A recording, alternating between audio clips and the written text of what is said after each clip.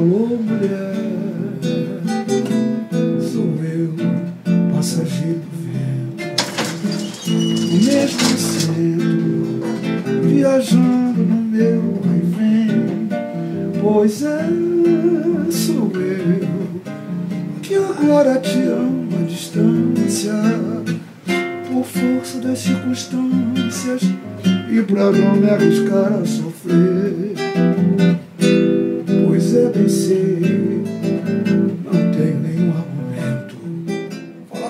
música é simplesmente falar da minha vida, porque eu comecei bem cedo na música, eu ganhei um violão aos 12 anos, e a lembrança mais intensa que eu tenho, que meu pai me deu de surpresa o violão, eu dormi com ele abraçado três dias, nas três noites. E com 15 anos eu comecei a tocar nos bailes, no bairro onde eu morava, primeiramente como músico, tocador de violão.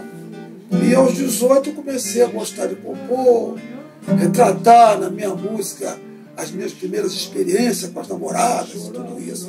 Aquilo que todo jovem vivencia, né? Eu conheci uma argentina que se encantou com o meu, meu trabalho, Acabou que eu casei com ela, fui morar em Buenos Aires, fiz meu primeiro disco em 1962, chamado Amor em Bossa Nova. Aí depois as coisas vieram normalmente. E eu vivo de música, estou hoje com 84, desde os 23 anos, eu vivo exclusivamente de música.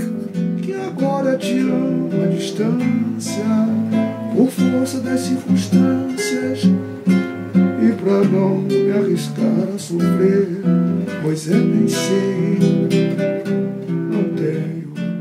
Eu consigo compor e gosto de qualquer ritmo. Claro que há uma predominância da música do Rio de Janeiro, que é o samba. Mas o restante, dependendo da imagem que eu queira colocar na música, da, da, do recado que eu queira dar, e o que venha também de inspiração, são todos os tipos de ritmo eu gosto de trabalhar com qualquer ritmo. Eu não tenho problema. E esse disco, Passageiro do Vento, tem essa pluralidade, essa multiplicidade de ritmos.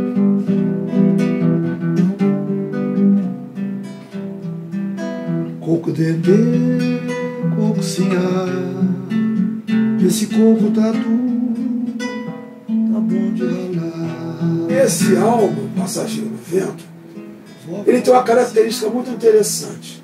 Eu gravei em 1978, mas desde 1975 eu fiz vários shows com os mesmos músicos. Então, quando a gente chegou para o estúdio para gravar esse disco, as músicas estavam muito mastigadas, muito conhecidas na, na, na cabeça deles. E muito embora eu tenha escrito, os, eu escrevi os arranjos todos, né? mas a contribuição dos músicos foi fundamental. Aquela, aquela, aquele hábito de tocar aquelas músicas fizeram com que dentro desse, desse, desse disco, desse vinil, as ideias fluíssem de maneira muito criativa.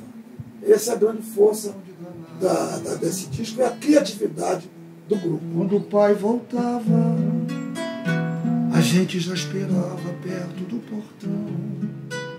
Uma música convive comigo de maneira é, total. Né? Se, eu, se eu tenho um carro passando na rua, eu procuro ver que nota que deu, ah, bato no copo, isso é o lar. Porque a música, na verdade, é simplesmente uma imitação da natureza. Qualquer um pode pegar um violão, um cavaquinho, fazer. Isso é verdade.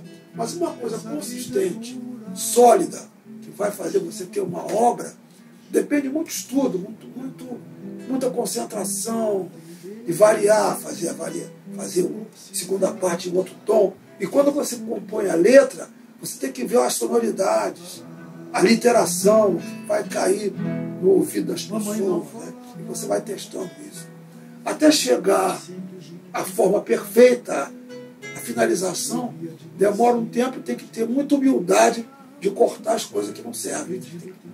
Usar tesoura. É muito chato conviver com músico. Mas é um prazer que alguém tem quando resolve abraçar a música. Né? Tem que abraçar com muita. Mas como uma religião. Né?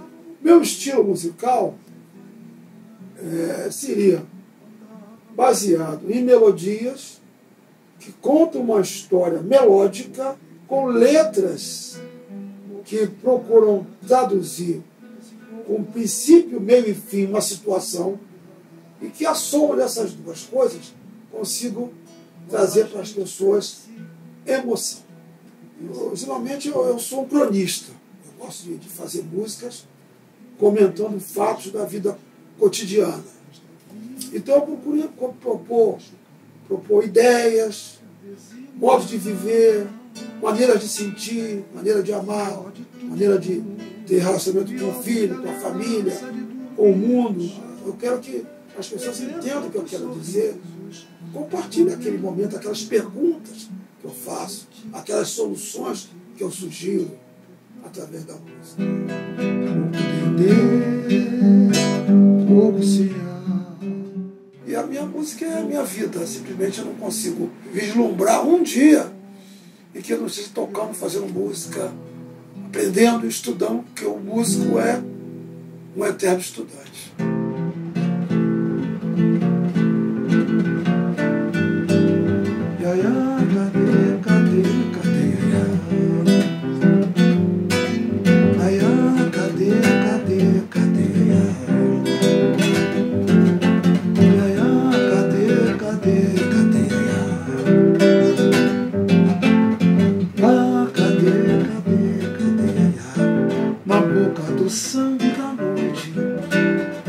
Apareceu e sorriu. Depois foi descendo a ladeira e mexendo as cadeiras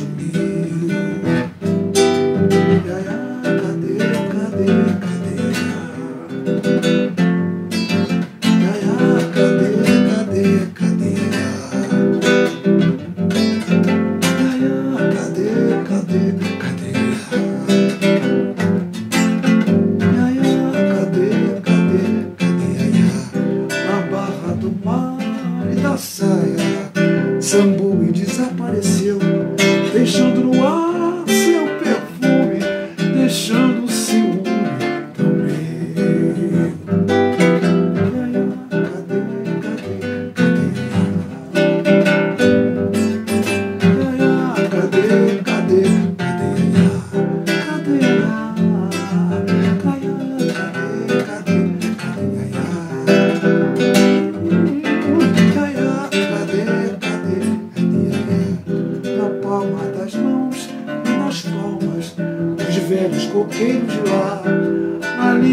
vida e do vento, um só pensamento